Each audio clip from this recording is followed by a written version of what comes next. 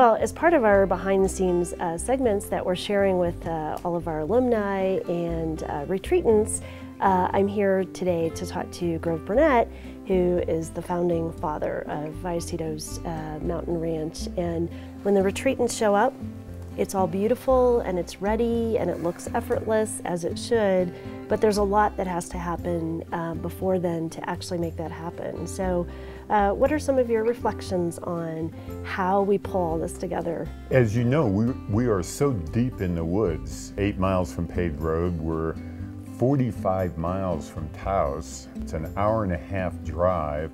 No one delivers here. uh, so we have to go to Taos for everything. If we're building a new casita or if we're doing repair work, we're doing painting, it always involves a three hour round trip to Taos to get.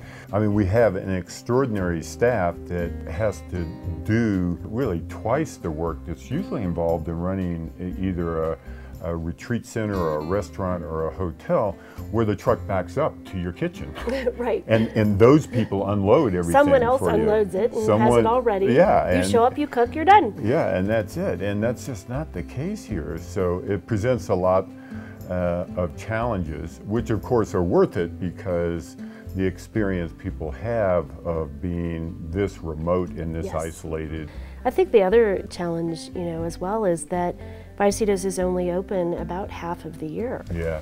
You know, that's our primary li- limitation in Mm-hmm. terms of being a viable operating business. Right. Uh, when you only operate six months of the year, uh, you're Right. really handicapped Right. uh, by, by any business standard. We don't have the luxury of having a full time staff Right. all year round. We are relying more and more, which is is working out extremely well with volunteers of people who have come to Vallecitos on Yes. retreat and, and want to give back. We had this wonderful couple who came to a retreat from England, who came to a meditation retreat, and at the end of the 10 day meditation retreat, they came to me and said, You know, we'd like to come back and volunteer next summer. And I said, Well, how long are you thinking of? I was thinking maybe a week or so. And they Right. said, How about two months?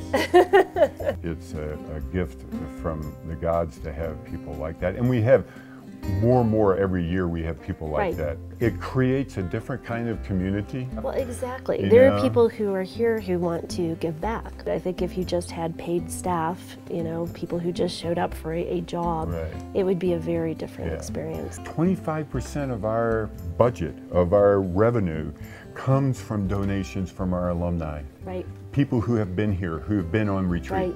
Right. We're dependent on all of them to survive. Right. Uh, and Because as you said, we're only really able to operate and have retreats six months out of the year, but all of those logistical things have to have to happen year round. Exactly. So you do have to have some staff to do that, which is why the volunteers are so important to help supplement that. Right. So I think it's uh, working out great.